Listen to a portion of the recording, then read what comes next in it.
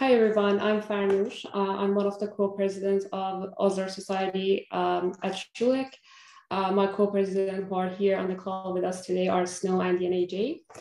Um, I wanted to thank everyone for attending the event from Western McGill universities, and I know we might have attendance from other academic centers as well. So thank you everyone for being here. Um, and a special thanks to McGill Osler Society members and Saman for collaborating with us to make this wonderful event possible today. Um, we are very excited and looking forward to the talk. Uh, I wanted to talk a bit about Osler Society at Schulich. Um, we are a student organization at Western Medical School and through our events, uh, we try to provide opportunities for a better understanding of history of medicine and how it has shaped medical education and how it continues to do so. Uh, the Osler Society at Western was founded as a permanent historical society in the 1920s. So it's been active for more than 100 years now. Um, and it was named after the Canadian doctor William Osler, who was perceived as the ideal modern physician for his stance on importance of practical instruction in teaching medicine. And I know the majority of us are medical students, so we are benefiting to this day from this improved teaching method. Um, through our events, we try to engage with various themes in history of medicine. This year, we've had guest speakers covering topics such as history of reproductive rights uh, by Dr. Dyke and Dr. Locks, Um, uh, so it involved discussing uh, reproductive politics, narratives over population, and similar subjects. Um, and also a talk by Dr. Susan Lamb on history of mental illnesses, why do psychiatric diagnoses appear and disappear from DSM. Uh, we also had a history of medicine rounds in which students get to present the research project um, and compete for different prizes. Uh, this year, we also had a private tour of Banting House located in London, which is the birthplace of insulin, and we learned all about its discovery by Dr. Banting. Um, this year, we also tried to have collaborative events with other schools as it presents us with more learning opportunities, and the event we're having today is one such example, and we're very grateful that it's happening. Um, lastly, I wanted to thank Dr. McKellar, who is the faculty member who's been overseeing all of our events and providing support. And of course, Dr. Del Maestro for agreeing to be our keynote speaker on this very interesting talk. Uh, really appreciate you being here with us today and can't wait for the talk. So um, this is all I had to say. Uh, someone please feel free to take it away. Well, thank you very much, Farnoosh. It's been a pleasure collaborating with you. Uh, my name is Aman. I'm a second year uh, medical student at McGill, one of the co-presidents of the McGill Osler Society, alongside my friend and colleague Arjun Alkapam, who is also with us. And uh, it's been a really great pleasure. We just passed our centenary of the Osler Society here at McGill. And uh, initially thinking, we thought, what better way to find uh, opportunities for dialogues and interinstitutional collaborations. And what better name than Dr. Del Maestro, who has had a fantastic career and commitment both at Western, where he was the director of the Brain Tumor Center, and also since he joined us at McGill. And with his uh, wide range of interests and uh, presence, uh, we are very delighted to see uh, 61 participants and counting at our event, and we are very happy to see you. A brief objective about the McGill Osler Society. we've been around, as I mentioned, for quite a long time, and the main objectives that we have is to foster an interest in the medical humanities, in the intellectual aspects of medicine, and really showing the lineage and the connection between different fields. As medical students, we're always humbled by the contributions of our predecessors, and it's extremely important to show that interplay, and we really strongly believe in that. We have more events coming up. We have a website coming up, so we're very excited about that. And uh, we hope that you can also join us in our future events uh, that uh, we would be uh, having a pleasure of having you all. So uh, I don't want to take more of the time, so I think we can just begin by introducing our keynote speaker. Uh, it's very special for me because I'm also a student of Dr. Del Maestro, so it's a double honor. Uh, Professor Del Maestro is a Canadian neurosurgeon, scientist, innovator, and the director of the Neurosurgical Simulation and Artificial Intelligence Learning Center. He has led uh, brain research laboratories at Western prior to joining McGill in 2000. With over 40 years of accumulated experiences, he has trained over 100 neurosurgical residents and fellows with a practice focused on complex neuro-oncology procedures. Dr. Del Maestro is the current chairperson of the standing committee of the Osler Library of the History of Medicine at McGill, and he also owns one of the largest private collections of materials related to Leonardo da Vinci in the world. Uh, a master of His books include A History of Neuro-Oncology, Sir William Osler's Leonardo da Vinci collection, Flight, Anatomy, and Art, and his incoming book, A Relationship uh, uh, Etched in Time, Leonardo da Vinci, the Earl of Arundel, and uh, uh, Wenceslas Hollar will be published by the McGill Queen's University Press. Dr. Del Maestro, thank you very much for being our keynote and the floor is all yours uh, for the lecture today. Well, thank you very much, uh, Saman and um, Farnoosh, uh, Arjun, and all the other individuals that were involved in putting this together. I must say, uh, I'm very pleased with the, uh, the concept of uh, McGill and, um, and uh, Western getting together as far as Osler societies. I think the more that we can do this, the more communication we can have with uh, different types of medical student societies, basically across, across Canada and hopefully eventually across the world will make the world a little bit better. I'm, I'm pretty convinced that all of us working together can, can make things a little bit better than unfortunately they, they are at this particular time period. Or what I would like to do is, is really uh, talk a little bit about Leonardo da Vinci's um, search for the soul. And really what I'm talking about is Leonardo da Vinci and the search for the soul, but it really can be expanded into the search for the composites of consciousness. So basically what we're talking about is uh, a larger sort of con- concept and the other thing is, we're not really talking about a religious concept, we're really talking about something else. So when one thinks about Leonardo da Vinci, uh, Paul Valéry, a French poet, uh, said of him, what a person leaves after them are the dreams that their name inspires and the works that make their name a symbol of admiration. So really, if you think about the world as, as a poetry of some sort, to the poetry of medicine, Leonardo only contributed a very small number of uh, poems. And we're going to talk about one little aspect of his work. To the poetry of art, Leonardo contributed a number of volumes, and to the poetry of the world, Leonardo contributed whole libraries. So we're talking about a very expansive uh, contribution to the, to the world of uh, intellect. Related to Leonardo's neurological focus, really the soul, the senso comune, one can really consider this the interpreter of our existence and the essence of our passion and intellectual life. So, an interpreter, something to do with our passion and something to do with our intellectual life. So, Leonardo's question that we'll address is in which organ do the composites of consciousness reside? And we'll think a little bit about this interesting dualism question. How does matter, the brain, let's say, create the subjective experience of mind? How does that sort of miraculous thing happen? So, the goals today of my presentation are to discuss some of the sources of this sort of ancient question, the knowledge base that Leonardo tapped for his personal search for the soul, and some modern concepts related to artificial intelligence, really to help us with this idea of what are the composites of consciousness. This, this story will cover about 5,000 years rather quickly. But if we start with the Egyptians, if you look on the left, the, their comments in a number of their writings relate to the heart. The actions of the arms, the movements of the legs, the motions of every other member is done according to the order of the heart that has conceived them.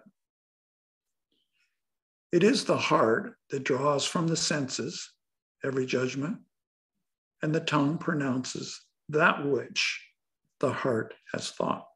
So clearly, on the Egyptian uh, mythology and concept, the heart was the most important organ. And so important that when all the other organs were placed in these special sort of jars, the heart was left in the mummy. So the lungs were removed, the liver was removed, the intestines were removed and placed in special sort of jars.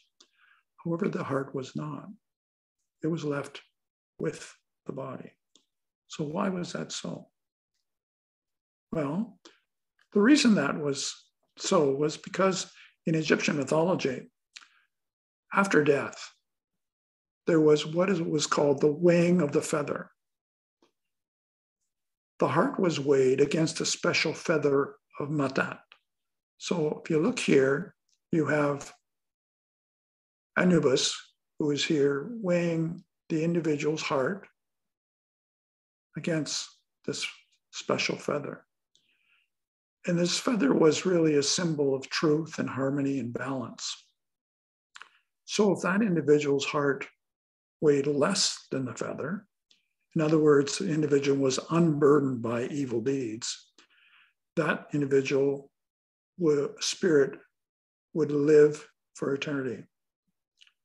However, if that person's heart was heavy with sin and weighed more than the feather, that individual's heart would be consumed by this little instrument here, which was called the devourer. And that person's spirit would be limited from the ashes of time. So if you think about that, linking judgment to a person's heart, good or bad deeds, to his external eternal existence after death, profoundly influence Western concepts of intellectual function, religion, and philosophy. In the Egyptian language, a picture of a lamb's heart was consistent with the concept of the soul. And in the writings, it evolved, but it was always the picture of a, of a heart. Amulets involving the heart were placed, were worn by many individuals and also were placed along with the mummy in the caskets. We're moving now to another time. Raphael, in his School of Athens, which is a fresco that's presently in the Vatican museums, has two interesting individuals in the center. On the left, you can see Leonardo da Vinci, who is, who is represented as Plato, and we know that because he's carrying the Timaeus. On the right is another individual. There has been some concept of which particular individual he represents. My own feeling is he probably represents uh, Michelangelo, but he also represents Aristotle because he's carrying the ethics. So, why is this important? Well, Plato, the teacher of Aristotle, when he was dealing with the issue of what, where this sort of consciousness resided, basically commented the brain may be the originator, originating power of the perceptions of hearing and sight and smell and memory and opinion may come from them. And science may be based on memory and opinion when they have attained fixity. So, what does this? What does it really mean? Well, in essence, there were three things associated with this concept of the soul or the concept of consciousness. There was the idea that our somehow external sensation comes into our body, reasoning results from that information, and memory has the ability to sort of influence reasoning going back and forth and back and forth. So, conceptually, three things information comes in through your senses. That allows you to develop some type of idea of your reality. And memory, the memory you have of what was present before, allows you to sort of put that in some type of a space, some type of a three dimensional sort of concept of what the world is really about. Now, Aristotle, on the other hand, who was Plato's most famous student, took another route. He was very involved in dissection of animals and is said to have dissected over 40 to 50 different species. Most of these, however, happen to be involving amphibians and other animals. And many of them, as he says, the brain in all animals is bloodless, devoid of veins, and naturally cold to the touch. In the great majority of animals, it has a small hollow in the center, which we now know are ventricles. This is the first time the ventricles were, were shown to exist. And so Aristotle felt the generation proceeded, and he did a, a, very large number of experiments involving the sort of generation of the egg and the chick. And visualizing that particular generation, he comments generation from the egg proceeds in an identical manner with all birds. So obviously, he'd seen multiple different types of birds involved in this process. This point beats and moves as though endowed with life. So when, when Aristotle was examining this phenomena of watching the, the egg grow, the first thing that he visualized was the beating heart. And basically, from that observation, he came to the conclusion that since one could see the beating heart first, that must be the most important aspect of our existence. That must be the initial sort of driver of our intellect and other passions. So, however, there were other opinions. Hippocrates, for example, when he was discussing the sacred disease, which was epilepsy, really came down to the opinion that the fact is the cause of this affliction, epilepsy, as of most serious diseases, was the brain. So he basically came down with the concept that it was not the heart, but the brain was involved with the vast majority of diseases that were associated with, let's say, neurological conditions. Galen, who was the surgeon to the gladiators, have had a, an immense experience with injury. And, and basically, what he came up with the idea was that, and he also did a number of different experiments. And he comments when a nerve is cut, pinched, contused, or tied by a ligature, all mo- motion and sensibility is suspended.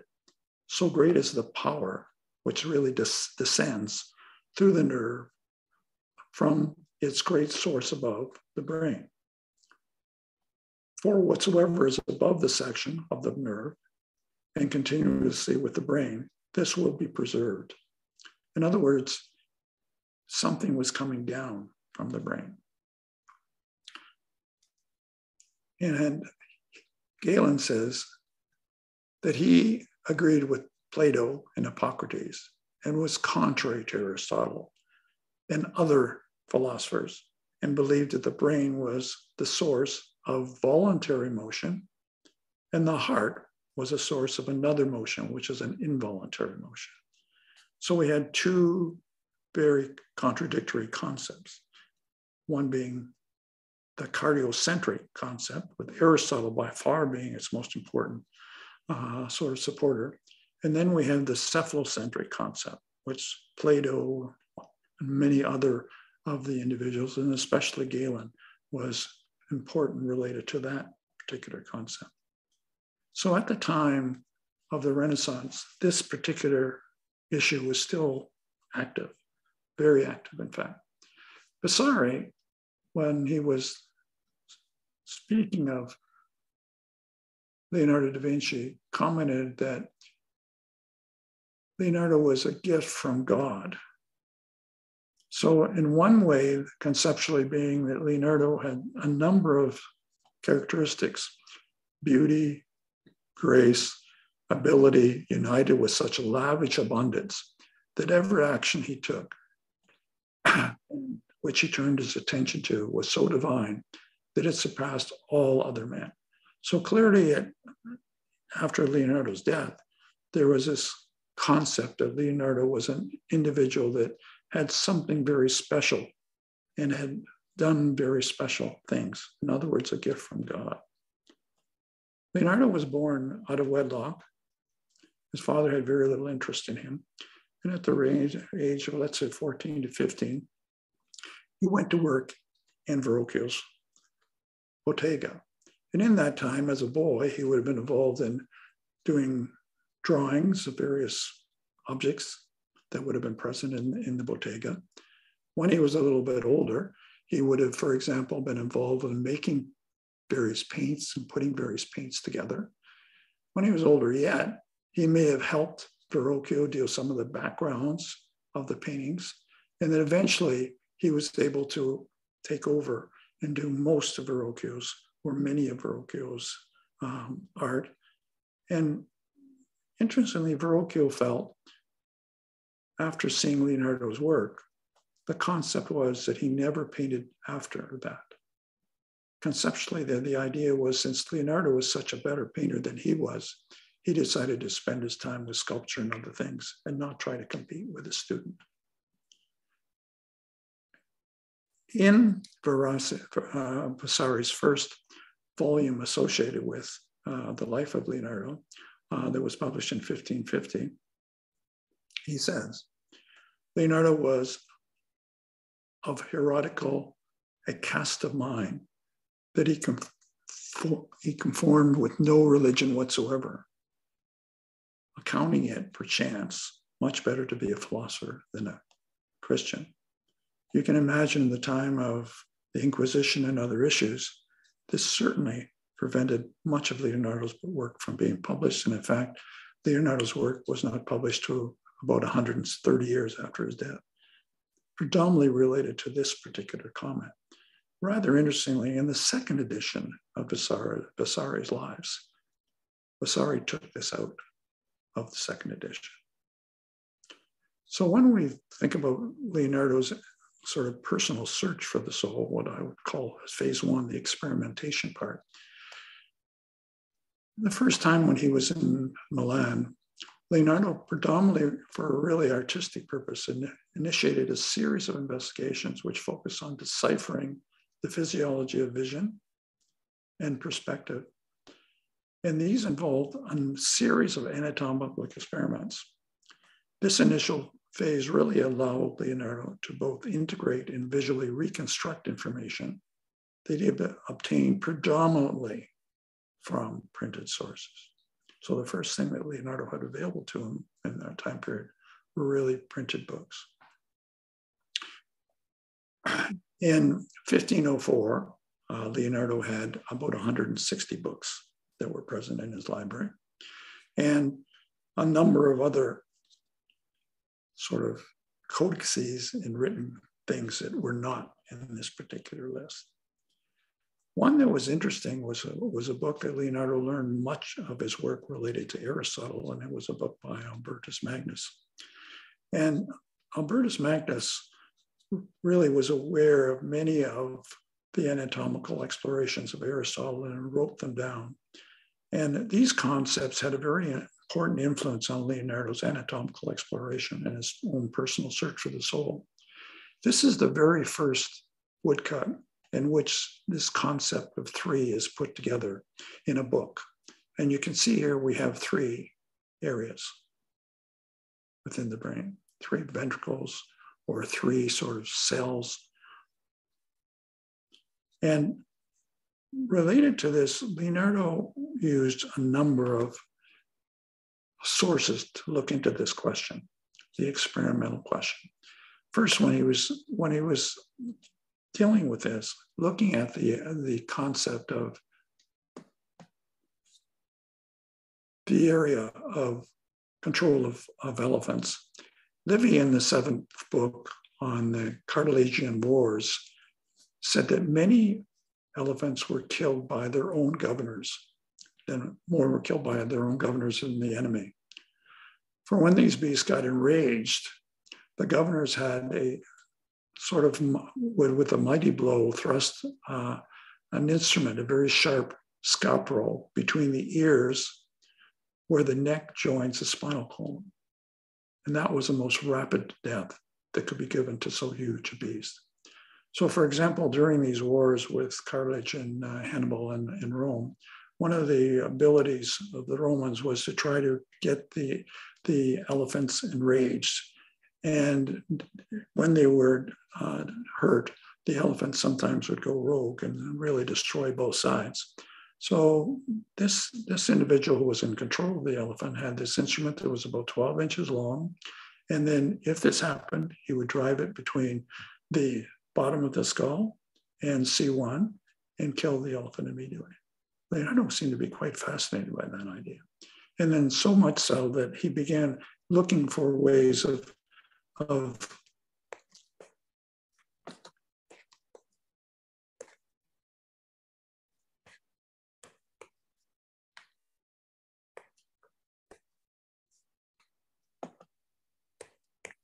don't know why it's not going forward, guys.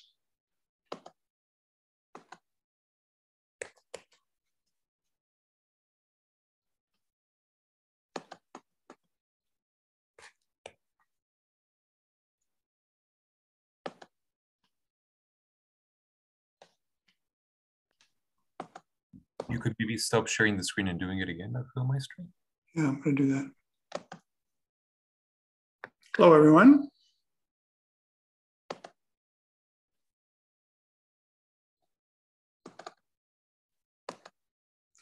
All right, try another way.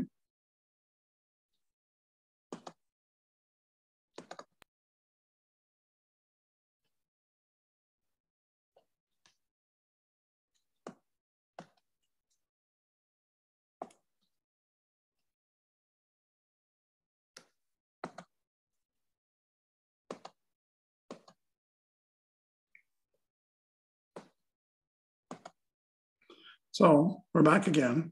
So if you think about it, he, conceptually there we had a problem with the issue that here you have an elephant, this huge animal that could be killed very easily by just placing this sort of instrument between the base of the skull and C1.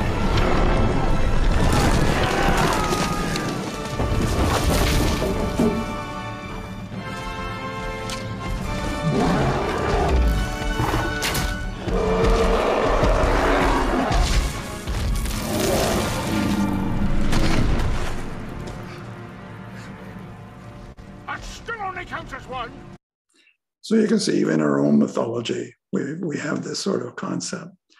Now, if we look at the very first page of Leonardo's work that we know that has anatomical drawings, this is it. On, on the left, you sort of see it, and on the right, you see it under, under ultraviolet light. If you look at it more closely, in one corner, you see this. So here is the base, the skull. Here's the spinal cord. Here's C1. Here's the vertebral arteries going through. And this is Leonardo's dissection of the base of, of the skull of the frog. And Leonardo says, the frog retains life for some hours when deprived of its head and its heart and all its bowels. And if you puncture the said nerve, the spinal medulla, it immediately twitches and dies. So it, then he writes here all the nerves of animals derive here, spinal cord. When this is pricked, the animal dies at once. Rather interestingly, here on this side, Leonardo writes not in his typical backwards writing. In other words, he's writing here with his left hand and he's writing backwards. Here he writes properly. So he writes a sense of touch, cause of motion, origin of nerves, passage for the animal power. This is directly taken out of one of the books that he was writing, and he writes it down properly. Now, if you look at the back of this sort of sheet, if you look in the, in the corner here, you see another dissection of the base of the skull and many other sort of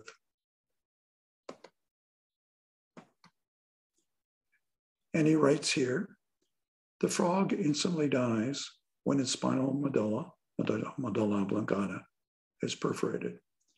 And previously it lived without head, without heart, or any inferior organs or intestines or skin. Here, therefore, it appears, lies the foundation of movement and life. So, in other words, Leonardo is sort of dealing with this issue and actually does an experiment himself to try to sort out where this sort of issue associated with uh, life begins. If you look here again, this is a blow up showing again another dissection. It's difficult to know if this is the frog or maybe even a dog. And he writes here, the dog or the limb will be lost whenever the nerves are, are punctured. So again, multiple sort of nerves involving the uh, area of the brachial plexus. This is all on one page. It's almost like a cornucopia of, of information on one page. How many pages do you think are available to us from Leonardo's work at the present time? There's 5,500 plus. It's estimated this is about 50 to 60% of Leonardo's output. So that means that Leonardo would have had somewhere around 10,000 pages.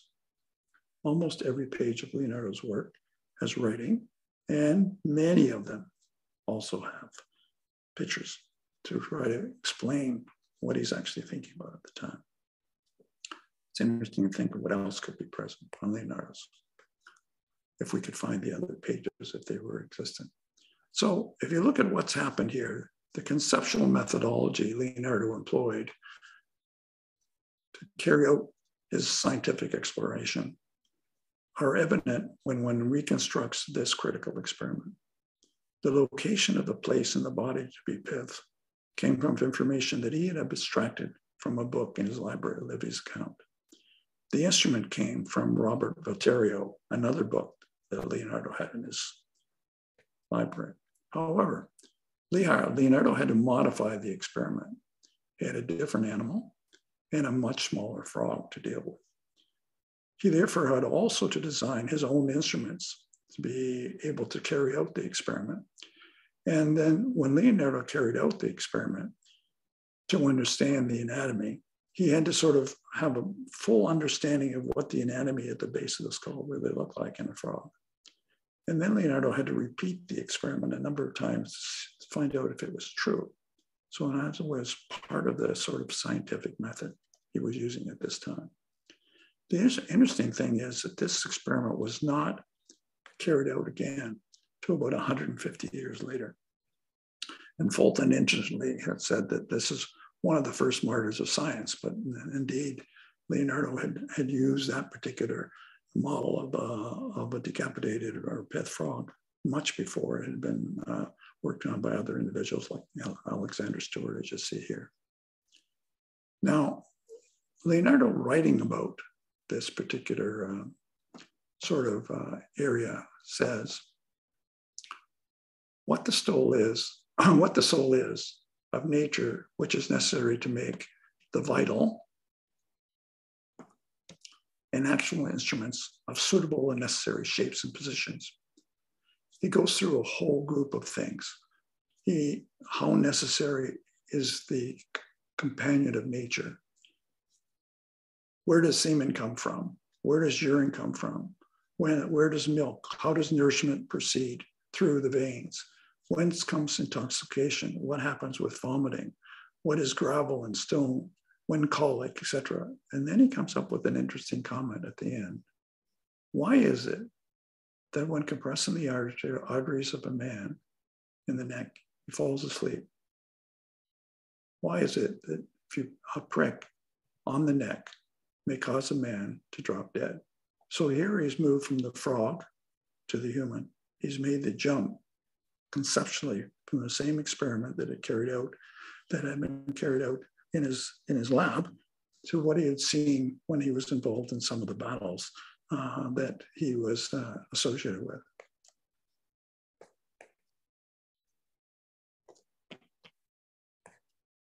Now, it's interesting here that in the very, his very first sort of um, drawings related to this, you can see here he hasn't done any dissection. All he has is the various books that he has uh, been able to read. And here, for example, if you look at this particular drawing in the center, he has the three round sort of circles that we've seen uh, in uh, previous volumes that he had in his library.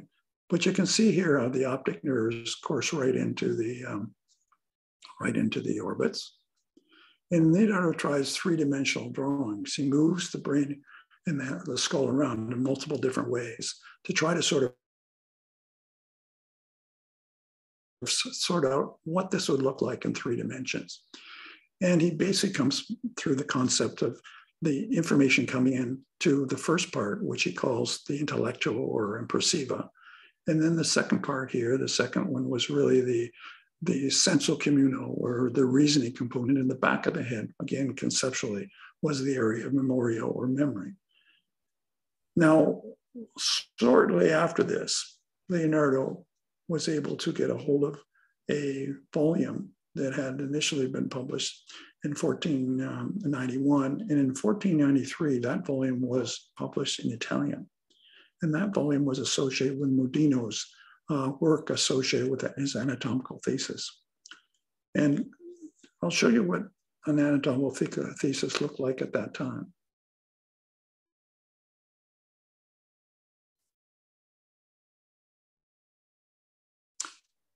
There we have, for example, urine.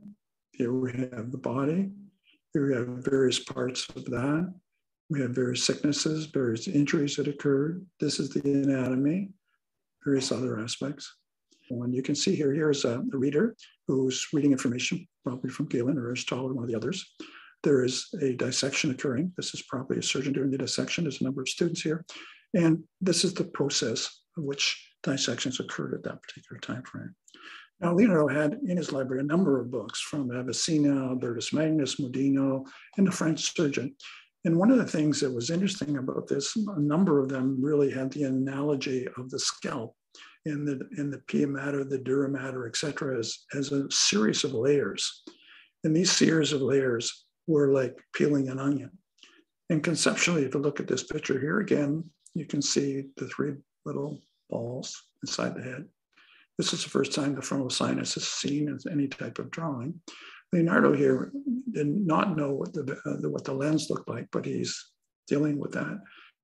Right here at the bottom, if you look, what he's done here is he's taking this, made sort of a sagittal cut through it, and he's bounced it back. So here again, you see the three little balls, orbital area, and the various nerves coming in. So again, he hasn't really done very much dissection at this time at all, but he's begun to sort of think about what it would be if he started to do second dissections and what it would look like. This is interesting because Leonardo obviously did a number of drawings related to the skull. And um, what, what's, this particular one has been lost, but this is interesting. And in one of his one of his um, sort of comments at that time, he says, "Have I ever seen it translated?" So Leonardo had very little knowledge of, of Latin, but he wanted that book translated on the utilities. He talks about a number of other things. And then there's two other books. Zerbi was one of uh, initial, uh, was the author of an initial sort of anatomical uh, uh, volume, as was Angelo Benedicti. And right after that, he says, get a skull. It's almost like Leonardo has, has been reading these two anatomical books and suddenly came to the conclusion that he should get a skull and start working on this himself.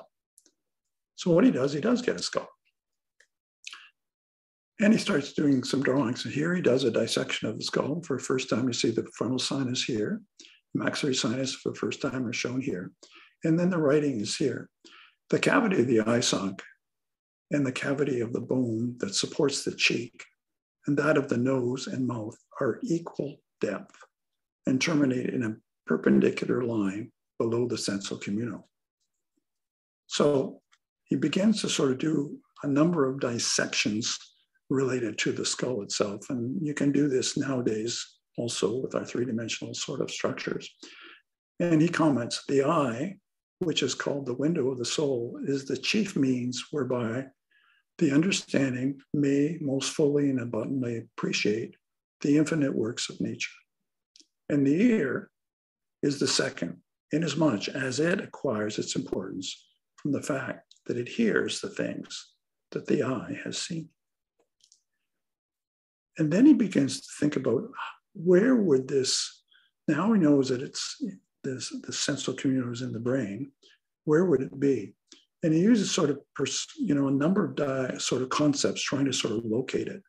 And these concepts really relate to various aspects of the mathematical work that he was doing at the time. And he comments, where the line AM is intersected by the line C6, there the meeting of the senses is made. So if you look, this is where he's talking about this line and this line, this line and this line. So he basically locates the senso comune really in the area of the very close to the pituitary gland, the interval, the third ventricle, in that area. He also was able to get skulls that had a number of nerves still present. You can see here, for example, you can see the optic nerves here, cavernous sinus, meningeal vessels. And again, you can see him attempting to locate the senso comune right in this area. And as, as an individual who spent a lot of his life dealing with brain tumors, I can tell you that if you have a tumor in that area, it significantly influences your ability to, to function in, in this world. Leonardo then really begins to think about the whole concept as really an army. He therefore says, therefore, the joints between the bones obey the tendon, and the tendon, the muscle, and the muscle, the nerve, and the nerve, the senso comune. And the senso comune is the seat of the soul. Memory is its stored in imprensiva and is standard of reference. And the heart is its, rather interesting, Leonardo doesn't say anything here. It's almost as though he's a little bit worried that if someone looks at his notes and contradicts Aristotle, he would be in some type of trouble. In the third phase, Leonardo really, in the third phase, he really begins very concentrated work associated with the actual brain itself. And you can see here that we have the three various circles, but now they're they're they're sort of uh, elongated and put into a more normal position. The multiple nerves that are involved in the eyes, the the, uh, the uh, olfactory nerves, spinal cord, etc. Leonardo's bringing these all to some type of conclusion. But the other thing he attacked was that the soul appears to reside in the seat of judgment, and the judicial parts appear to be where all the senses come together, which is called the senso comune. And it is not in all other parts of the whole body, as many believe but all in this part. So there are many people who believe that the actual soul is located in all kinds of different places in the body. And these just goes to show you the number of experiments that Leonardo did with the heart.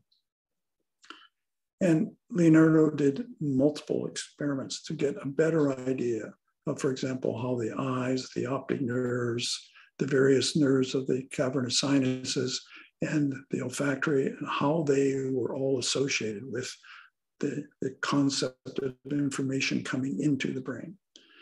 And then he did some interesting experiments to really look at what the actual ventricles look like. And so what he did is he took a bovine brain and he injected, he placed into the third ventricle by going through the lamina in the bottom part of the brain here and injected wax. And the wax showed the lateral ventricles third ventricle, fourth ventricle, the foramen mineral, and the aqueductus of Sylvius. So he had a complete sort of three dimensional construction of what the ventricles look like in the brain. And this information at the time was something like this. This was a book that was published at about the same time as, as some of Leonardo's work in 1504. And you can see it is somewhat different from Leonardo's overall conception because he has been able to sort of actually find these particular areas inside the brain. And so this is really the area of integration. He integrates all the information he has from his various, his various amounts of work and actually works on the idea of that there is a, a choriplexus plexus within these ventricles. And he considers the choriplexus plexus being able to sort of adjust the amount of fluid that's flowing between these various areas. And by it change the amount of fluid, it really changes the amount of intellect and intellectual activity that's going on. The other thing that's interesting is in Leonardo's drawings associated with the fetus in, in uh, the uterus, he comments, and she puts there the soul, the composer of the body, that is the soul of the mother, which first composes in the womb the shape of man, and in due time awakens the soul which is to be its inhabitant. So, in one way, he's asking the question when does intellect or consciousness go from the mother to the fetus? When does that happen? He also has almost a Darwinian type of concept, though human ingenuity by various in, inventions with different instruments yields the same end. They will never devise an, an invention more beautiful than does nature, because in her inventions, nothing is lacking and nothing is superfluous. This is my daughter and, uh, and Evie, one of my grandchildren, and it's really in a remarkable sort of concept related to the idea of Leonardo was thinking of what a marvelous sort of issue it is to have a child. And really, the issue that it, he bothered with was how does this happen? How, how does this miraculous thing happen of the intellect, the consciousness going into the, the fetus? Now, we're going to go a little faster now, but basically, Vesalius was really not very interested in the idea of where the soul is. He says, We were persuaded that this figure that included not only the three ventricles, but also as we led, we were led to believe it displayed all the parts of the head, including the brain. So he never really looked very much for this idea. He was much more interested in, for example, in the anatomical proportions. Descartes believed that the soul was located in the pineal gland because of his concept that the body was some of machine. Thomas Willis was more important related to the idea that he was uh, involved with a group of, of chemists, researchers who believed that chemical rather than mechanical concepts were the essential part to be associated with brain function. This is the first microscopic image we have of a nerve cell. This is one of the more complex nerve cells in the nervous system called the Purkinje cell. These are the first pictures of it. Here we have Camillo Golgi's depiction of the reticulum of the brain. And, and Golgi believed that every single neuron was, was connected to the other neurons. And so we had a reticulum. Cajal, on the other hand, felt that every single neuron was separate it communicated through connections, synapses, etc., but they were separate. And obviously, Cajal was, was, was correct in his assessment. The neuron is really considered to be the physiological unit. And so we have, if you look, if you look at the concept now, we have the brain, we have molecules and ions, synapses, microcircuits, dendritic trees, neurons, local circuits, integrated systems, behavioral systems. So, is this it? Is this, is this what it's all about now? Where does love come from? Where, where does caring come from? Where does all the essential components that make us human come from? How do these systems make us what we are? We can stimulate the human brain. You can get all kinds of activity associated with motion and other things, but that doesn't really help us very much with the idea of where the sort of concept of soul would be. This concept of love, concepts of other activities that we happen to have. Penfield felt that, that these, this important idea of consciousness really was outside of the cerebral cortex, was somewhere in the deep part of the brain. I can tell you, you can operate on humans awake. You can operate on them when they're doing computer program, etc. But I have never, never really been able to sort of understand how that necessarily deals with the idea of consciousness, which part of the brain has to do with consciousness. Now I'm going to move into another area very quickly here, just artificial intelligence. And the reason for this is that moving into artificial intelligence, that's really a branch of computer science. that really deals with simulated intellectual behavior in computers.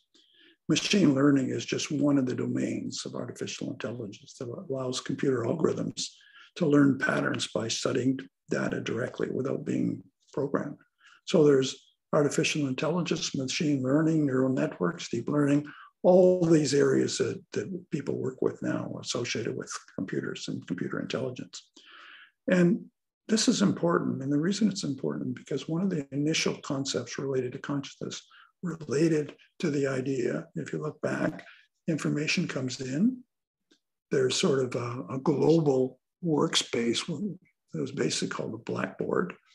And information is spread through the rest of the brain through this sort of idea. So the idea being that there was what is called a global workspace.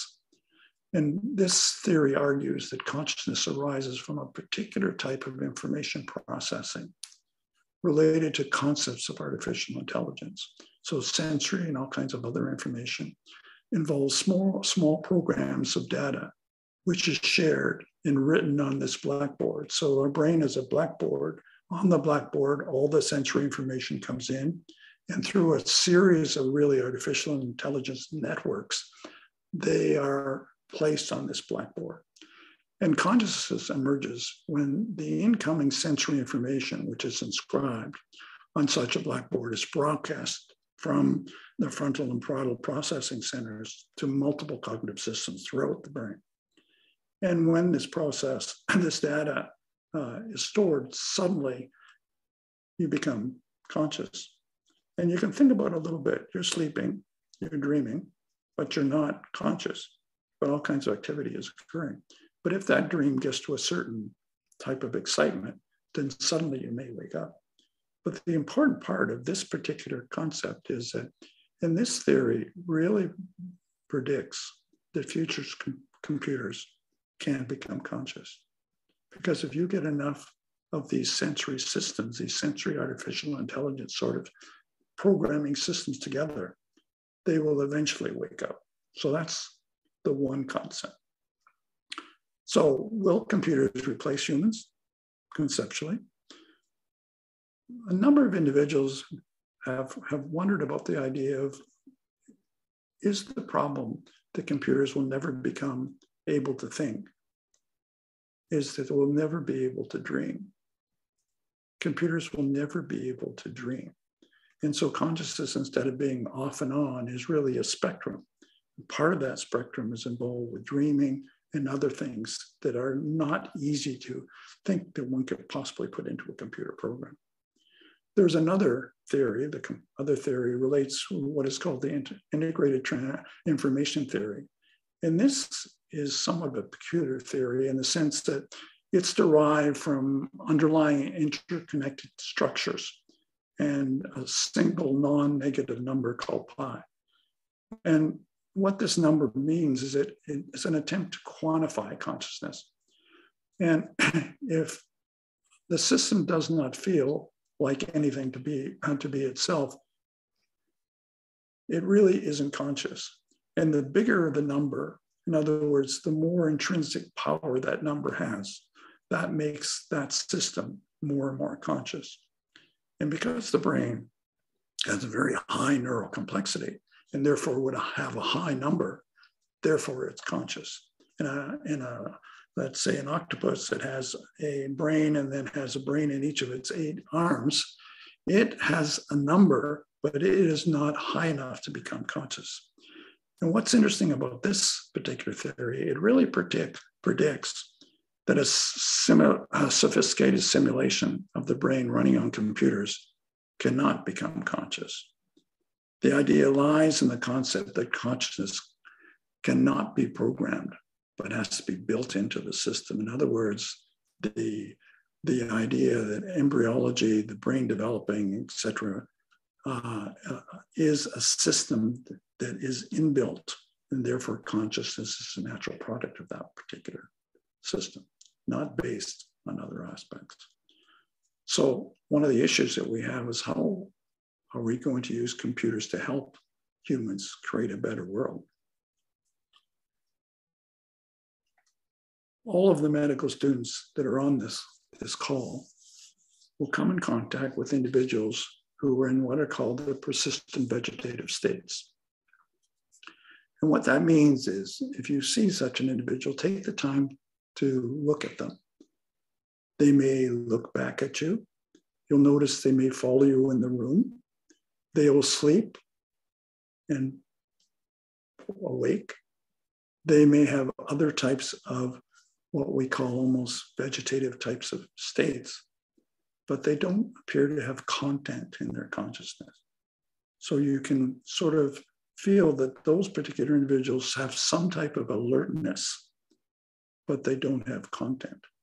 So clearly, there's a difference between content, which our brains have when they function normally, and another system in the brain which alerts us and keeps us in some type of alert system or associated with our environment.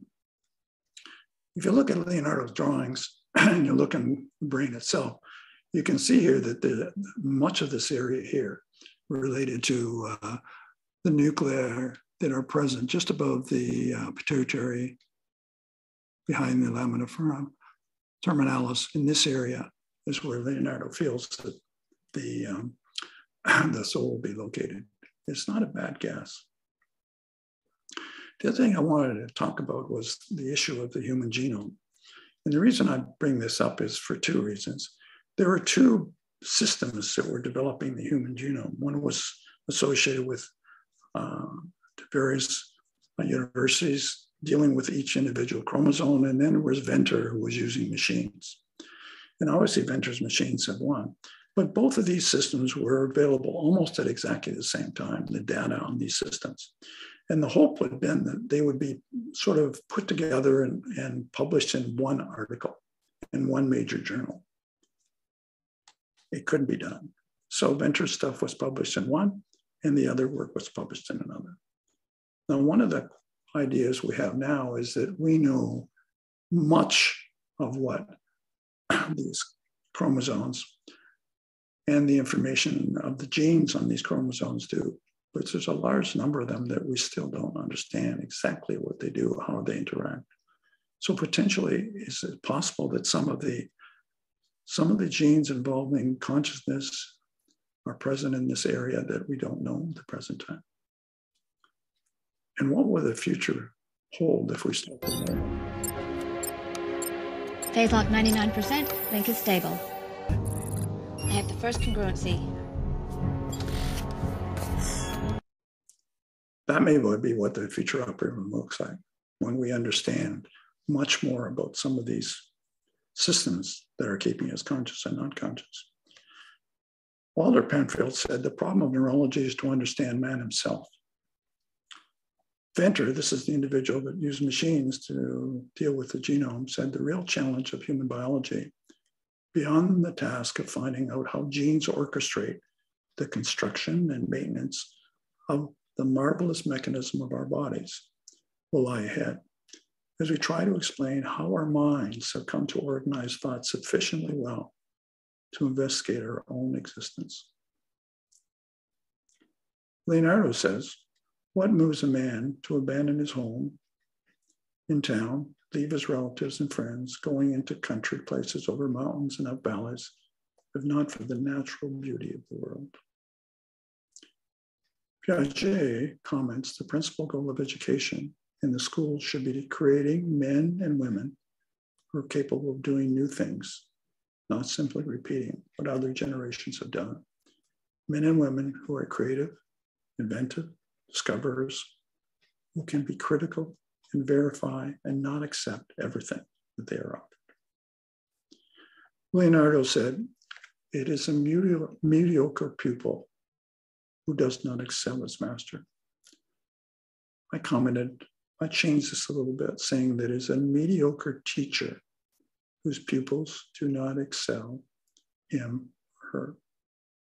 So, the role of your teachers is to make sure that their students are able to move the concepts, the ideas, the understanding forward and make the place a better world.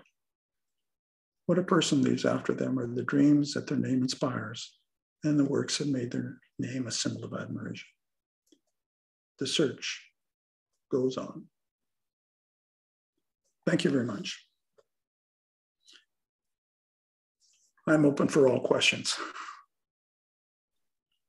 Thank you. First and foremost, that was an incredible talk, distilled in an hour, and uh, I'm sure everyone enjoyed it. Uh, we'll open the floor by just uh, using the microphone.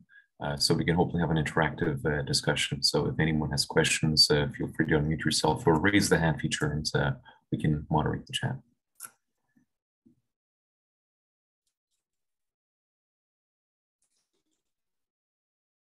Yes, John. You have to unmute yourself. Can you hear me? John, I, have you unmuted yourself?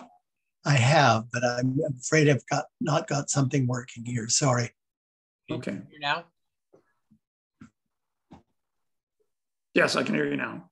Okay. Um, I enjoyed your presentation very much. And one of the things that just struck me, I'm curious about, is when did you and Leonardo da Vinci uh, become intrigued and where did this occur in relationship to your medical education and your going on in to be a neurosurgeon? Well, when I when I was in undergraduate um, uh, studies at Western, I was pretty well fascinated with the idea of creativity. You know, what what makes creativity? What what is the basis of creativity? And if you think overall, there's been three very large time periods where creativity was, was a part of the human uh, sort of genome. That was time of the Greeks, the Renaissance, and um, really the time period. And if you if you look at the time of the Greeks, that was associated with writing, the ability to write the Greek language and spread it that way. The Renaissance was associated with the idea that books were being published and therefore information could be spread in that way.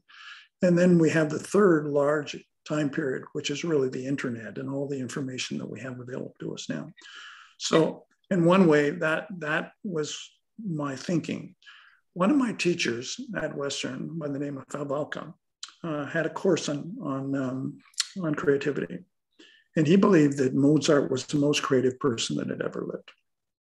And the reason for that happened to be that he felt that when you looked at Mozart's music, there were very few corrections, as though the music just came right out of him. However, to pass that course, uh, you had to um, pick another individual who you felt was as creative or more creative than Havelka. And then you had to, to you know, sort of dispute with the professor in two particular time periods, uh, two essays as to why you believe that your particular person was more creative than uh, than Mozart. Now, I was taking this course when I was an intern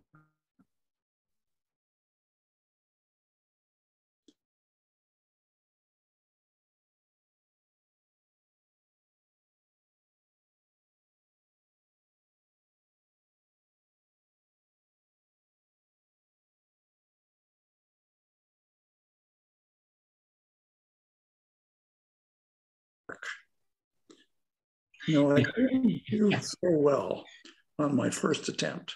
So much of my so much of my life has been attempting to be, do a little bit better. Now it has gone to some extremes, as I'll show you. This is my library, which has about 8,000 books, the vast majority of them related to Leonardo. So you can see that I'm still trying to do a little bit better as far as that's concerned. Related to neurosurgery, you know, isn't it marvelous to think that we have this three pound sort of gelatinous, gelatinous object inside our skulls, which, which does an incredible thing.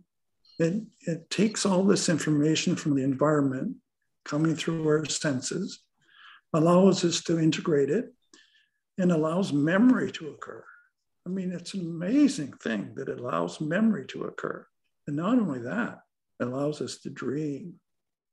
It allows us to believe in the future. It allows us to look at the past and integrate it into the present and into the future. And um, therefore, I, I basically felt that, that working on the brain was something that I would be interested in doing. And I have to say, the brain has, has fascinated me right from the first time I actually saw it. I saw it meeting and thinking that in, in this thing is the essence of this particular person. Now, the other thing I want to mention is one other thing. I, I over a thousand operations on patients awake. So I have a fair knowledge about that process. Every once in a while, it's easy to, to anesthetize the scalp. The brain has no fiber and no pain fibers. Why does a great, great interpreter of pain in the universe have no pain fibers? Why does that occur? I mean, think about it. This thing interprets pain continuously, but itself has no pain fibers. Why did that happen? Evolutionary. What, what's the value? What's the idea about that? Yeah, but every once in a while during these operations, individuals get stressed, as you may, may consider. And sometimes you have to stop the operation because people are so stressed, they're moving, they're beginning to move, the anesthetist is getting all concerned about what's happening, etc. And you stop. That's rare, but it happens. One of my last operations I did, um, this was happening to a patient. And I knew she was religious. And I said to her, Why don't you pray? And she started praying very quickly, when you looked around the room, you could see the mouth of the anesthetist moving, all the nurses, the residents in the room, and she settled down completely. We carried on with the operation and did it. So do not, do not think that spirituality has nothing to do with human existence. It is an important sort of component of human existence. You can argue whether it's what you can argue about related to spirituality, but there's very there's something very special about spirituality that helps people, helps people get through stress, helps people get through operations. So do not count spirituality out of any equation that you have related to the human condition. So that's a long answer, but I think it's a it's an appropriate one. For, Thank for you for sharing that. And uh, I, I, recall that Dr. Havelka had a great impact on myself during the uh, pre-medical years of my education. So it's very intriguing to have you mention him uh, as being a very instrumental person in getting you in studying the creativity and learning how to become better. So that I really enjoyed that. Thank you. Yes, Chris. Uh, yeah, so thanks. That was a fascinating talk. Um, so a couple things that I'm curious about is, um, so Descartes identified the pineal gland as the seat of the soul primarily because it's one of the most noticeable uh, solitary structures in the brain.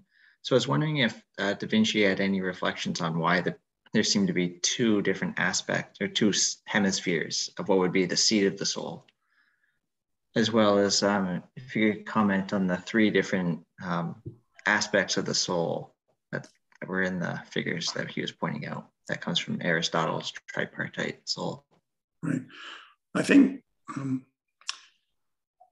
Leonardo, I'm not sure really sort of thought about the idea because he did he obviously did dissections. He did dissections involving the um, the brain, one of the problems, however, is when you do a human dissection based on Mondino's sort of description, was in the first day, you would do the dissection of the abdomen. And you got to remember that this was in a hot climate in Italy. So the first day, the dissection of the abdomen would occur.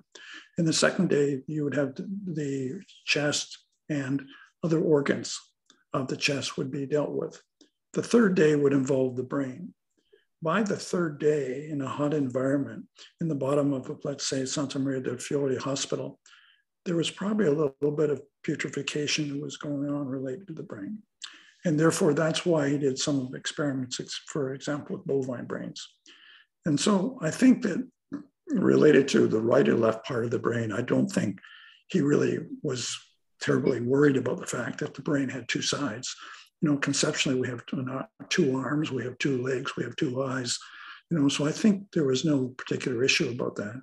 And since Leonardo thought that the eyes were one of the more important parts of our ability to uh, deal with our external environment, the fact that they were coming in sort of together and we had two sides probably sort of was not normal and natural to him.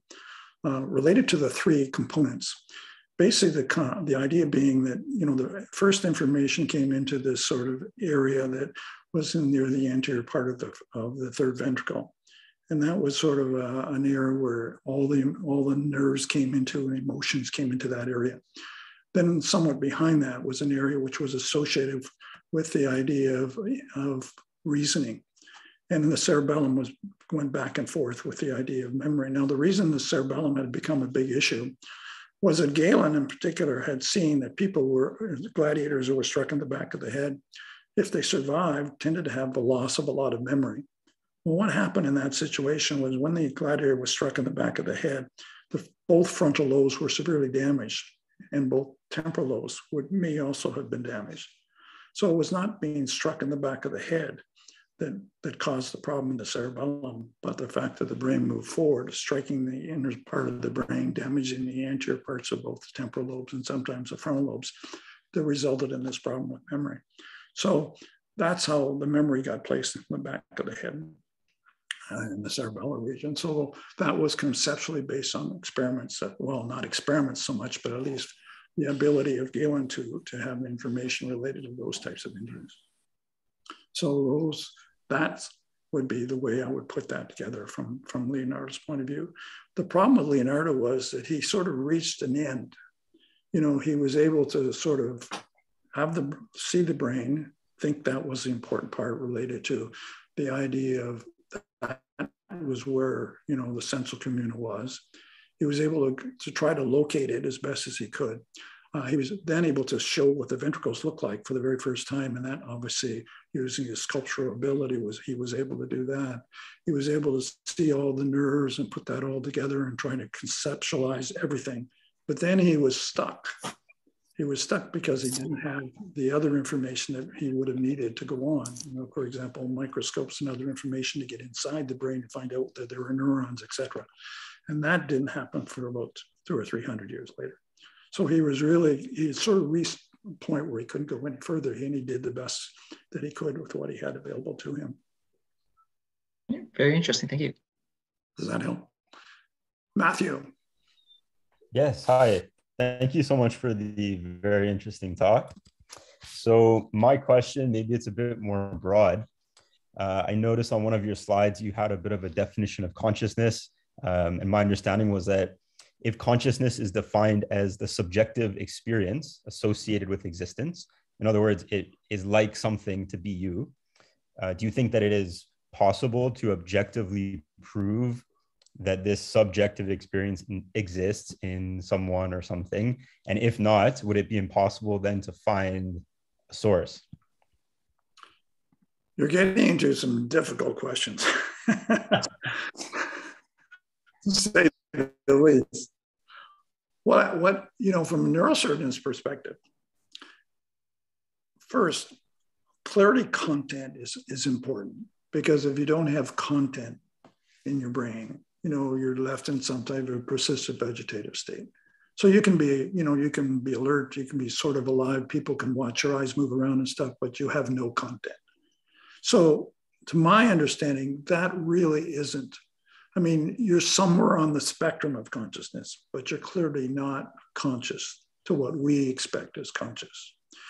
Now, I've always felt that if you want to be, if you're conscious, that means two things. That means that you can express love and you can receive love.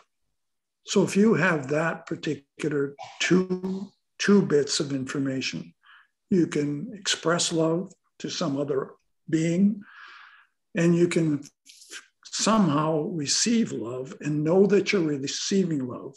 And that you can say, what is love? Well, love is some type of sensory sort of system that we that we feel as um, uh, as love. So if you have those two things, then probably you have some type of consciousness. Now the question is, as I mentioned in the talk, I'm a little confused. Where the hell is love? Where is it? I've stimulated the brain. I've cut all kinds of places out of the brain. I'm not sure I, I have an answer to that question. There's some type of system running inside of our brain that allows that to happen. Now, you can argue, you can say, what, what people tell me is, heck, the reason you have love is our species has to continue to exist. Therefore, genetics are such that you have to have love so you can have reproduction and therefore you can have existence of the species. Okay, well, that's a good argument. Then I think one of my teachers' wife was dying with Alzheimer's. When you saw him feeding her, taking care of her, I don't know how that has to do with reproduction. I don't know how that has to do with the idea that we want to continue our species. There is something more intrinsic in that that is different. It is different than this idea that we just want to increase our species.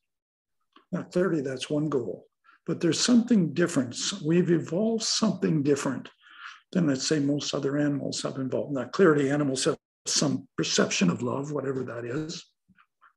But we as humans have, you know, have we've because a, a number of the systems we have, when you integrate them together, there is some type of special feeling you get when you are associated with love. And of course, that's true, serotonin, etc. You can argue all that that type of, of, of information related to the ideas of of uh, various types of levels of various uh, substances that allow you to be happy or not happy. But still, it's, it's a little interesting. The second thing I will tell you is my son is a theoretical physicist. And when we talk about ions and receptors and all that stuff, he looks at me like I'm sort of strange. He says, Well, Dad, it's all atoms that are moving. They're just atoms that are moving together and sharing and sharing their electrons. And, and through that sharing of electrons and other sort of activities, they're creating your molecules, they're creating your synapses, you're, they're creating the whole system. So you're at a, you're at a wrong level. You know, there's something much more intrinsic, much lower down that's associated with, with uh, let's say, some of the things we're talking about. So the, the long answer to the question is I have no idea. The short answer is um, I think it's something to be explored. And I would hope that some of these individuals who are on the call will, will sort of begin to think about this. And maybe we can have a little bit more enlightenment in the future as to what, what really, where is love and how does love sort of exist in that three pound sort of pulsating sort of object we have inside of our skull. And how do we express it and how do we get it in from that aspect. I know that doesn't really answer your question, but that's the best I can do right now. Thank you very much. Nikki. Hi, um, thank you so much for your wonderful talk. Uh, I myself have been a huge fan of Da Vinci for a very, very long time. Uh, read his biography by Walter Isaacson, and so I was very excited to join the Zoom call today. Uh, so I particularly really enjoy um, his work, The Vitruvian Man. And I'm not sure if the other participants are familiar with that drawing, but it was created at a time where there was a lot of debate about spirituality, but also about mathematics and squaring a circle, I believe. And Da Vinci brilliantly brought all these concepts together and created the Vitruvian Man. And uh, there's this beautiful philosophy behind it um, about spirituality. And I was wondering if you had any insight or wanted to elaborate about basically that man was at the center of the universe and he had the ability to climb up this ladder and behave like God, or climb down and behave, you know, like animals. Um, I was wondering if you had any insight on that sketch in particular and just the, the mathematics and the religion and everything that he brought together in that sketch and what it became so iconic and is actually, I believe, on the one euro coin for Italy. Right. Well, if you ever have the time to go to Venice, go to the Accademia, and that particular drawing is held in Venice at the Accademia. And every three to five years, that particular drawing is out and you can see it in its reality. And when you actually see it live, you get the impression that Leonardo has spent a great deal of time putting that drawing together. And the circle and the square and that aspect of it. I think, in a way, he's trying to conceptualize something that, that is associated with the human condition. You know, that there's, you know, the arms are out, the legs are out, etc.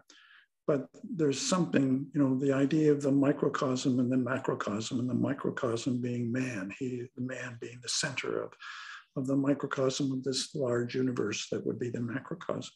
So in one way, I think that's that's part of that that picture from that idea. And then I think you know we can talk a lot about Leonardo's one drawing or another drawing, etc. But I think the major way I've found it useful is to to sort of put these in in sort of a, a perspective or let's say phases of his thinking. Leonardo changed his mind uh, when he did, for example, experiments, and he found, for example, what someone had written in the book wasn't true, and he criticizes people all the time. He'll say that, you know, Avicenna said this, but I have found that that is not true.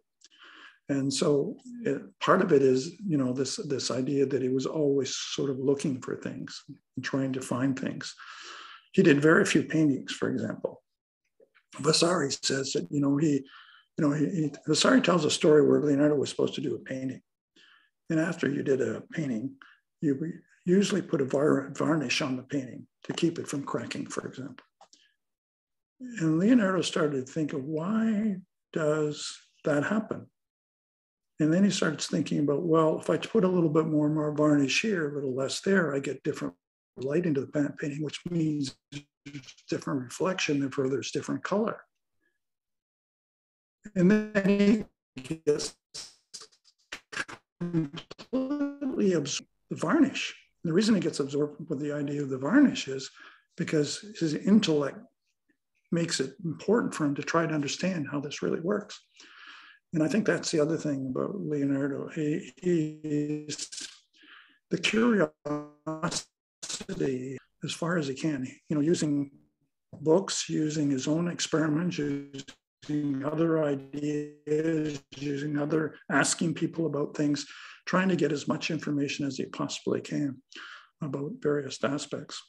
Now, Freud, Freud only psychoanalyzed one artist really, and that was Leonardo da Vinci.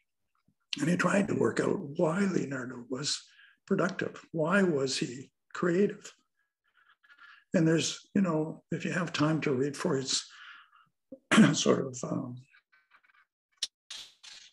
attempt at dissecting creativity of the creativity of Leonardo, it, he comments that you know Leonardo was born out of wedlock.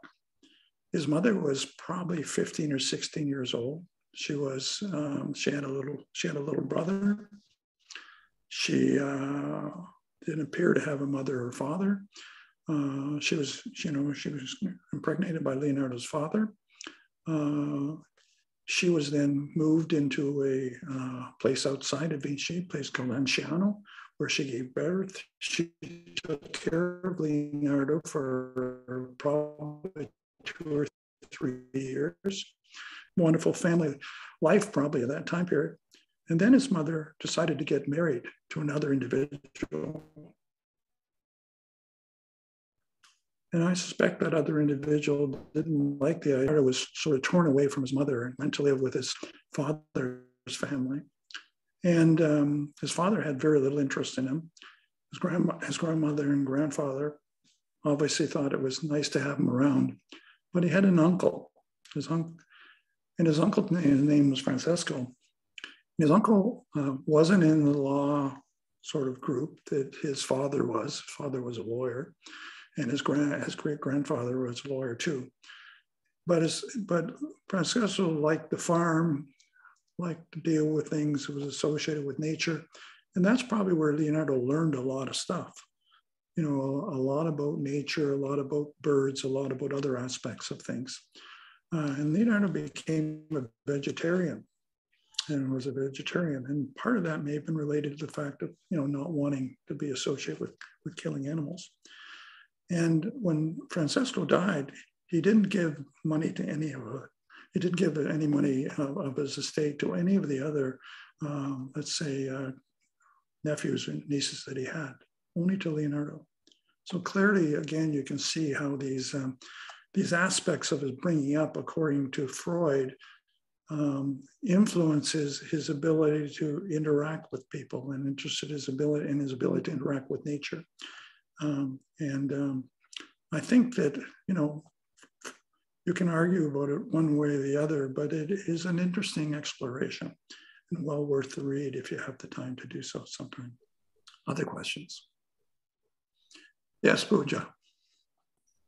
Thank you for wonderful talk. First of all, I I personally like the Leonardo part and the consciousness part because it is the consciousness which which I have never been able to wrap my head around till now. but my question is, you you asked you, you said that uh, where the love or care comes from. So I want to ask, what do you think about this idea that it can be just the emergent behavior or emergent property of the matter arranged in certain way? well, you know, the questions would be um, if our brain is a series of, let's say, algorithms that are running on a continuous basis. Um, and uh, those algorithms have, are associated with deep learning. In other words, you know, they're not programmed, or at least some of them are not programmed. Obviously, there are programs. I mean, your heart is beating. You know, your every there's a whole bunch of programmed, you know, uh, artificial intelligence types of, uh, of systems that are working in, in, your body all the time, uh, and they're they're continually working and adjusting, etc.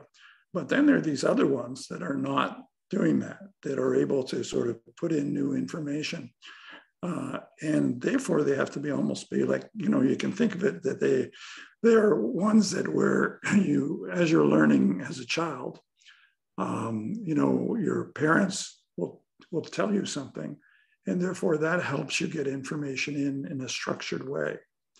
But there also is the other deep learning types of uh, situations where for example you've never known how to deal with a particular situation and therefore it occurs and therefore a bunch of algorithms start thinking well if this happens to you again if this feeling of love happens to you again this is how you react this feeling of, of let's say unhappiness this is how you react and so it's sort of a bunch of algorithms working at a bunch of different uh, levels that are involved in the, in the human brain i personally am a little concerned and I, I do a lot of work in artificial intelligence. But you know, the artificial intelligence systems are better than humans at many, many things. Much, much better than humans at many, many things. And so, potentially, if this is true, that it is a blackboard that we have in our brain, and all these systems are on this large blackboard, and if you put enough of them together, like, you know, for example, if you're sleeping and suddenly, you know, you wake up because a dream has bothered you, is that's what's going to, is that going to happen with computers? If you put enough of these algorithms running through computers that eventually they will just wake up. And if they wake up, you know, there's lots of sort of science fiction about this, but they must, if they woke up and looked at what we do to the world, I mean, we should, you know, why should we exist as humans? If they have the ability, they get the ability to build themselves without us.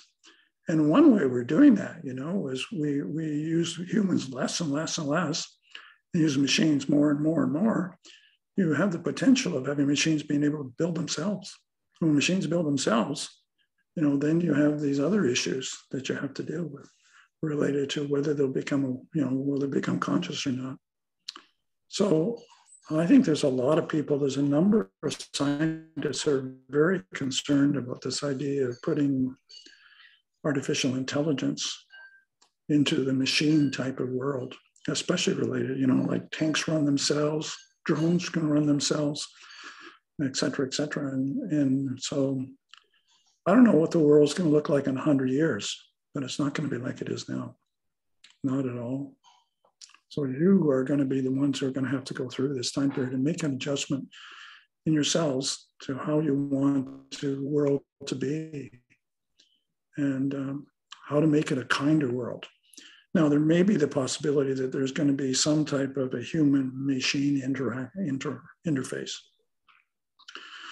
And that will start with individuals, for example, that have a paralysis, and you'll be able to put, you know, a number of areas in the cortex of the motor motor area, which they're already doing, and the individual is going to be able to, let's say, think uh, that I want to move my arm, and let's say that individual doesn't have an arm but has an, uh, a artificial arm, and the, therefore, the, by the mind itself, they'll move this artificial arm, and so you can see how this can get more and more complex. That the individual um, then becomes part human and part machine. And then, you know, maybe that's the hybrid. We'll go through a. I have difficulty with the other concept, but there may be something, for example, very, you know, what's so special about the human brain that it should be conscious? What is so special about it? I mean, it's being made up of atoms, it's made up of of electrons, it's made up of neutrons, just like every other object in the universe. Well, why is it so special? Why can't it? Why can't consciousness occur in other systems that are also made up of atoms, also made up of electrons, etc.? So it's a it's a very complicated, we're in a complicated interface right now. You're going to see things happen in the next five or 10 years that is going to blow your mind, really, literally there's going to be all kinds of unbelievable things coming out of the scientific labs associated with artificial intelligence and brain machine interaction. And then what we're going to have to decide is how far do we let these things go? And what is the danger of them? It's like it's like atomic energy in a way. You know, we, uh, we you have atomic energy; it's very good. It makes electricity, etc. But it also makes atomic bombs. So, well, humans have not been able to regulate themselves very well over time. That's for sure. That's for sure. Hope is that, that your, your time periods, of the, especially the young who are medical students and other individuals, uh, will do better than we've done. I would hope that we can evolve beyond war. Give me a break. Can we not evolve beyond war? Jesus, really? Have we not got this within us? And if we don't, if you as young people don't change it, it will continue to the end of time until there's not a human left on the surface of the planet. So somehow we have to evolve beyond this. It just can't keep going on because, you know, we don't kill ourselves by, uh, by polluting the planet, can you imagine what a computer would say what we've done to the planet so far. Just imagine what they would think if they got all the data, and they can get all the data. You put a big computer it, they can get all the data. To give you an idea, when we're doing in our lab, when we're doing, let's say, work associated with uh, operative procedure, uh, we can get 6,000 bits of data on how your arms are moving together. 6,000. And that's just the beginning. We can get many more than that we can figure out every single movement that you're making with your hands, every acceleration, deceleration, tremor, everything. We can reconstruct the whole procedure. And that's because we've got artificial intelligence. So imagine what eventually what may happen with artificial intelligence as far as communities, et cetera. The only thing is we're chaotic as humans. We're very chaotic. We, we, we're, we don't, we're not predictable. And that's, that's one of the problems. That may be why we're going to survive, that we're completely unpredictable because then the then the computers are not going to be able to deal with that. And I also have a problem of does anybody think in this group that's on that we are going to be able to have computers that dream? How does how is that going to happen? You know, dreaming is some part. Dreaming, you know, your brain uses as much energy in the night as it does during the day, and you're you're coding all kinds of memory that you had during the day at night. So that's one reason that that's happening. But also, there's a numbers of algorithms that are that are sort of coming forward during your during the nighttime. That's when you're sleeping. That's when you know information comes up in your front lobes, and you, you can hear you can hear things during your dream. You can see things during your dream. Imagine the complexity that's going on in a dream, and I'm not sure you'll be able to program a computer to do that. It's just maybe too complex, but speculation, of course. Yes, sure. Yes, Saman. You want me to get off the line? um, I can ask the questions, but we have two other people. Um, I mean, my question can wait. I think Ariel and uh, Abby. So maybe they can go first, actually. And then if there's time, I'll ask. If not, that's okay. All right. Ariel? Great. Yeah, first, I want to say thank you so much for such an interesting talk. Uh, the last question you answered started uh, talking about love. And I think uh, in that same vein, I'm interested um, in how the Egyptians had this idea of what the heart did and that it housed uh, passions and some kind of thing we would call today an intellectual uh, drive.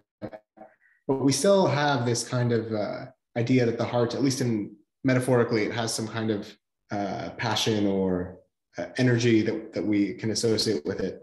I'm wondering, um, I was really interested how you showed that Leonardo left it blank what he wrote in that particular text, what he thought the heart was. Um, do you have any uh, thoughts on what he actually thought it did? I know that uh, like there were some developments in cardiovascular physiology and anatomists like William Harvey would discover after him. Uh, you know the whole detail of like the heart pumping blood. But like what did he think that the heart did uh, leonardo? He thought it was a pump. That was the final decision. He thought it was an involuntary motion involving the pump. Now that didn't mean he didn't think it was a marvelous organ.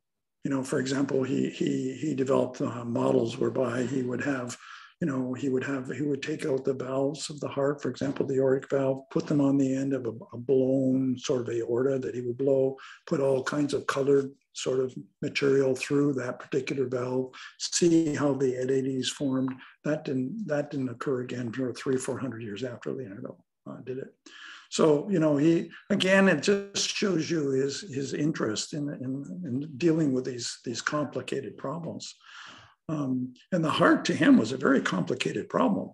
You know, I think, I mean, to me, it's still a complicated. Now we can replace it with someone else's heart, and probably very soon we'll be replacing it with with um, various animals' hearts that, that have been programmed rejection. Uh, but it is interesting that we have not really been able to, to deal with a mechanical heart very effectively. And uh, so there probably are some limits to our to our understanding of heart function, but um, overall, I think that the problem a little bit is Aristotle was so so dominant in his thinking that the whole idea of the heart has really revolved around you know Valentine's Day, and et cetera, et cetera.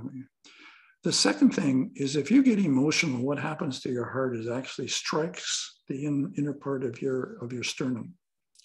And that gives your chest this abnormal feeling, which probably translate to some type of other feeling that the brain deals with.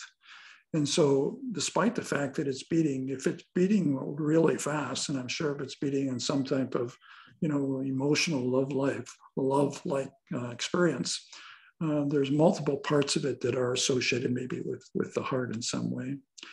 Uh, and the brain, you know, it's, it's like a hybrid. You know, the brain and the heart sort of maybe have some things that work together one way and the other. Not a really good answer, but the best answer. You know, I can't believe how little we, we know. We know so little. We think we know stuff But I can tell you my, you know, 40 years working on, on let's say brain tumors, which I have done, we know so, so little. And uh, let's hope that uh, we know more and more over time. But, you know, there's so, you know, there's certain questions that we just, we, we can deal with simple things. We can put a bone back together with a bunch of screws and plate and everything. You know, we can do all kinds of stuff like that that works quite well. But when it gets down to more complex issues like, you know, mental disease, uh, all that, uh, it's it's a much more complicated issue, and that's because it happens to involve the brain and receptors in the brain and various aspects of the brain function. We just we just don't know enough about how the brain works. And uh, as my son says, you, you know, you guys, you know, you're not talking about about the right things. You're not talking about the atoms and all the rest of it that happen in, in the brain that are somehow the structural basis of, of, the, of the whole idea of, of consciousness. Nikki. Sorry, I got I got disconnected, so I just re-entered.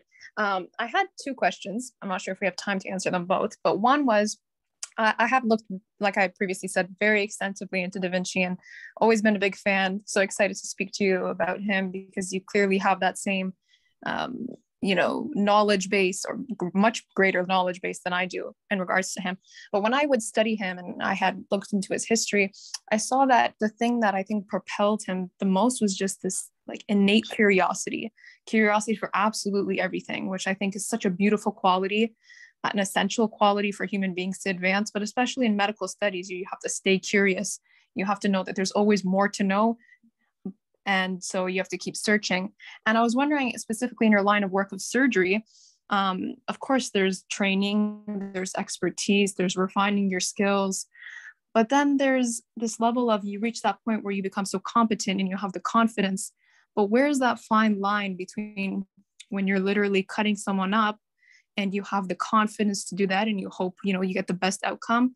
And at which point does it shift over into ego because of course that exists in medicine unfortunately unfortunately. And um, you know we were talking about consciousness and we're talking about freud and so of course ego comes up. And i wonder just as a surgeon and as someone who is very respected in the field um, what are your thoughts on that? So curiosity is one thing to propel us forward but how do you toe the line between being confident in your surgical pursuits and not allowing ego to take over you have to be incredibly humble. And the reason I say that is you can do the, the best operation that can be done, and then the patient will die from an infection or a heart attack or a pulmonary embolus. And so, you know, we, you know, we're part of, you know, a group of, of individuals you know, neurosurgeons, let's say, and other types of surgeons who develop a certain number of skills. And we, you know, I've always I've always told people who are if you're if you're a medical student on the on this particular call, there's one really big question you have to deal with. And that big question is do I cut into the human body or not? That is a really big question you have to deal with somewhere around end of second and third year. Because if you cut into the human body, that's a completely different aspect of it. That means you put a scalpel in your hand and you take that scalpel and you cut open the body, the abdomen and the leg, wherever, and you try to do something related to that using using those technical skills. That's not to mean that people who do, for example, angiography and other things don't have technical skills, but it's a little different. Uh, it's not quite the same. Uh, for example, doing an angiogram of a carotid artery is not like, you know, sort of dealing a carotid endarterectomy. They're somewhat different. So I think over my lifetime, as I got older, I got more and more humble. And um, I tried to push the envelope sometimes further than I should have. Patients died. Now, sometimes when you push the envelope further, things worked out quite well. And so the next time you push it even further, and then you push it even further. And then at some point, you overextend. And the patient ends up with a hemiparesis or ends up with a cognitive problem, et cetera, et cetera. And that's why we start, you know, we spend a lot of our time with awake patients because, you know, you can test intellectual function while you're doing the operation. You obviously can te- test motor function, you can test speech, you can inspect all kinds of things when the patient's awake. Because some of our, you know, our technology does not allow us to assess all that, especially if the brain has been distorted by, let's say, an object in the brain, which would be a tumor. The only thing I can tell you is if you're a surgeon, try to be humble. Because if you're humble, then you can, um, then you'll get through each day a little bit better uh, the second thing is I've done wake operations on children that have been six years old, eight years old. How can you do that? How can you do that? How can you operate a kid that's six or eight years old for five hours, seven hours, etc.? How do you do that? Well, you do that because the child believes that you're in a partnership. And that partnership is you and the child or you and the adult, whatever you're doing, you're doing this together. And that's another thing I think in the medical system we have to sort of work on.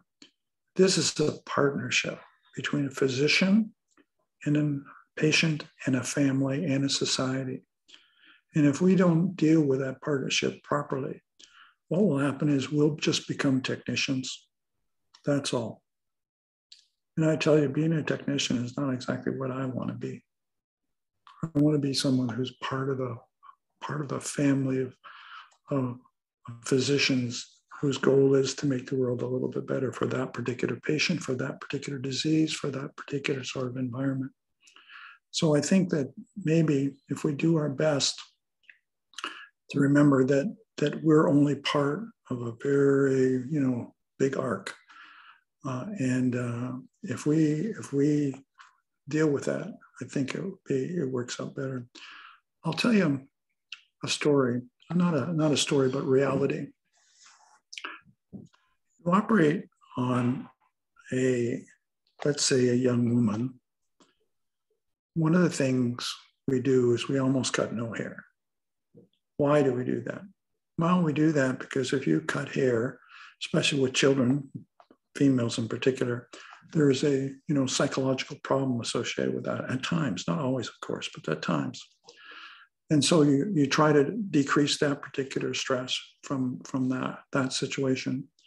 And then, for example, let's say you're operating on, on someone who's, let's say, 20 some odd years old, happens to be, let's say, a woman. And right after the operation, you know, the next morning you go in uh, as a surgeon and you say, well, how are you? And they say, well, I'm, I'm good. So, well, what I would do is I would talk with the nurses taking care of her. And I would say, well, get her to put her music, get her to put her lipstick on, you know, get her to, to, you know, get dressed up, get her to, you know, put makeup on or whatever she wants to do. And what's amazing is how when other people come into the room and they see your patient with the lipstick, with the makeup, with no haircut or anything like that. It's, it's an incredible thing to make that patient feel better and do better. I mean, that's the secret of, of being a physician. Learn things that help people. And you don't learn them all the time from your teachers. Sometimes you have to learn them yourself. But there's all kinds of secrets involving taking care of patients. Another secret I will give you if you have a patient in hospital that you're taking care of,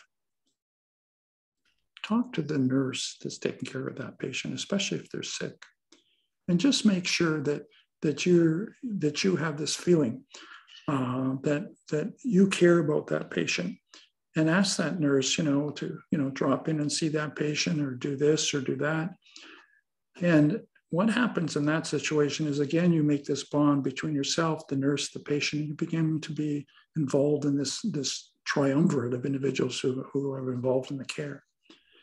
And i can tell you you know the person that i like the most in a hospital who do you think it is it's the cleaners it's the cleaners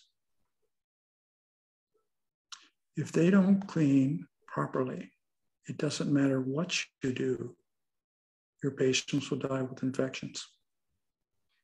That's reality. That's no game. That's reality. So when I go by a cleaner, I thank them. Because they're doing something very special, just like everybody else. So try this humble thing. Try to keep it in some type of control, this feeling of, you know, I mean, you can call it godliness or whatever. It's it's it's just foolishness. Your patients will not do well if that's your the way you approach the world. Try to sort of be part of this this healing community, and uh, humility is a very important part of that. Very important part. And the second thing, I'll give I'll give you a sign, one more sign, Saman. Try to talk with your patients. Try to talk with them. Listen to them. You'll learn all kinds of incredible stories. It's really hard because you're rushing all the time, etc. But try to talk with them. Sit on the end of the bed and talk with them. It's incredible how much they'll get better in that situation. And if they're dying, even more, because people are left alone when they die. And one of your roles is to help them through the door. That's another important role that you have. As a neurosurgeon, I've seen the door open too, too many times. All I could do was help them through. One more thing. So, I mean, Abby, you had a question on it. I think I should answer it because I, I should have, uh, I should have done that. Yes, Professor. I had the privilege of listening to a similar talk before, so it's my second time, but this is much deeper than the the previous one. You you really because at the end of the previous talk, our question was, can AI stream? But here in this talk, this is the beginning. So I see it as a continuation. So thank you for that. And the way you're describing the, the physician patient relationship, I don't see a difference between that and the, the mother child relationship from the way you spoke. In fact, in the beginning of the, the lecture, when you showed the, the lamb's heart, I was thinking of the, the mother's womb, which brings me to the question. And you asked, can AI dream? You know, where do we put AI, creativity, dreams, this childlike state, wh- where do we draw the line to all that? So I have a question for you. You think perhaps it could be simulating not a childlike brain with an AI, but perhaps a maternal fetus system in AI? And what would Da Vinci say to that in terms of the emergence of consciousness and love? Well, uh, if we go back, if we go back to the idea of um, consciousness going, you know, from the from the mother to the to the child, I'm a, you know, what's interesting to me is how does a sperm and ovum get together, and those two sort of structures create, first of all, a very complex being and second, somehow are able to transfer consciousness. I mean, what is present in those chromosomes that you get from your mom and your dad that that that are able to produce consciousness? What what is there that allows that to happen? Because it has to be there. I mean, all of us exist because of that. An ovum and a sperm getting together and we are conscious. So, you know, there's something very, you know, there, there's something that we don't understand in that aspect of that. The other thing that was interesting when I've talked to, you know, obstetricians and people who deal with this, you know, you can have uh, novum, which is which is fertilized, divide into two, and have two perfectly the same, you know, identical twins. It will divide again, and you can have four. But then something turns off. something turns off and you can't have eight who are identical twins. So somewhere in the system, there's a turn off switch. Interesting. Yes, man. I guess I guess this is enough for night. Is that is that? Uh... no, no. I have a question too. It's, it's never enough. This is uh, almost like a metaphysical now realm. We went from the Q and A to that. Um, I want to revert it back to the the main theme. So one of the questions that I had when we were presenting the slides is really the relationship between the scientists and artists. So we know that Da Vinci uh, was the first to depict the anatomically correct spine and also liver cirrhosis. And then you sort of alluded to uh, uh, Golgi, but uh, his competitor, uh, uh, Santiago Ramon y Cajal, he was a very, very brilliant artist and neuroanatomist. And, and he was the one who essentially refuted this idea of the reticular model that the whole brain is one blob of information, everything is connected. And he was the one who presented the neural doctrine. He was also a great artist. The question that I have for you is Do you think it would have been possible for both of these figures and those of that level to have made scientific discoveries had they not been great artists? What do you see that relationship to be?